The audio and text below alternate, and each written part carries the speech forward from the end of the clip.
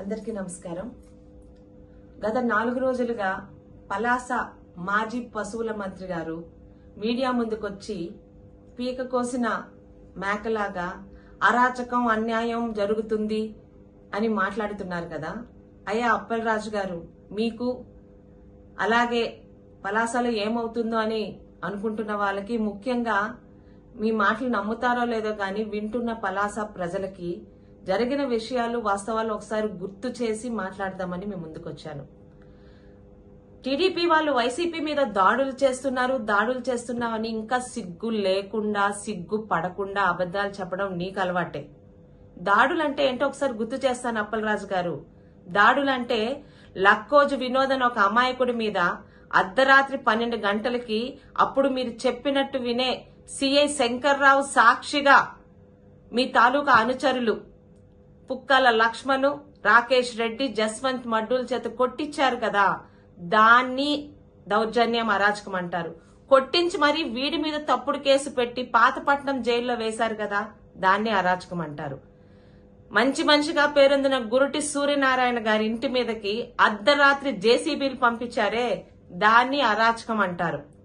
మిమ్మల్ని ప్రశ్నించాడని ఒక కక్షతో మా పలాస మున్సిపాలిటీ అధ్యక్షుడు బడ్డా నాగరాజు ఇంటి దగ్గర అర్ధరాత్రి మీ చేతిలోని అధికారం ఉందని పొగరుతో అహంకారంతో పోలీసుని తీసుకొచ్చి చిన్న కాలువని పగలగొట్టి తన ఇంటికి రోడ్డు లేకుండా చేయాలని అనుకున్నారే.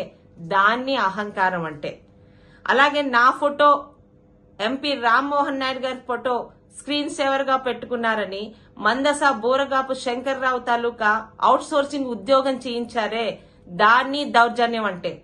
మాకు సహకరిస్తున్నారని జీకే నాయుడు గారి వ్యాపారాల మీద విజిలెన్స్ దాడులు చేసి దాదాపు పది పదిహేను కేసులు పెట్టించారే. దాన్ని అధికార దుర్వినియోగం అంటే.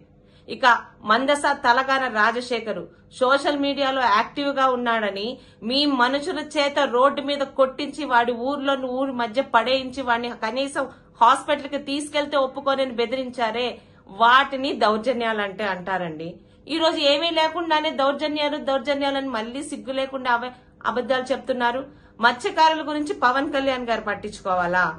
దాదాపు మూడు వందల మంది మత్స్యకారుల్ని సొంత కులం వాళ్ళని కూడా చూడకుండా మత్స్యకార భరోసా తెలుగుదేశానికి ఓటేశారని తీయించేశావే. ఆ రోజు మత్స్యకారుల మీద నీ జాలి ఎక్కడమైంది మత్స్యకార మంత్రిగా ఐదు రూపాయలకు కూడా సంప ఇవ్వలేని నూలు కర్ర ఇవ్వలేని నువ్వు మత్స్యకార మంత్రిగా ఉన్నావు. ఈ రోజు మాట్లాడుతున్నావు అప్పలరాజు గారు ఇంకా దౌర్జన్యాలు మేము చెయ్యబోవటం లేదు. చంద్రబాబు నాయుడు గారికి మర్యాద ఇచ్చి అసెంబ్లీ సాక్షిగా మా చంద్రబాబు నాయుడు గారి మీద అలాగే లోకేష్ గారి మీద నువ్వు చేసిన అగౌరవ అనుచిత వాక్యలు నువ్వు మర్చిపోయినట్టు నటిస్తున్నావేమో గాని నేను మర్చిపోలేదు. పలాసల ఏ తెలుగుదేశం వాళ్ళు కూడా మర్చిపోనివ్వను.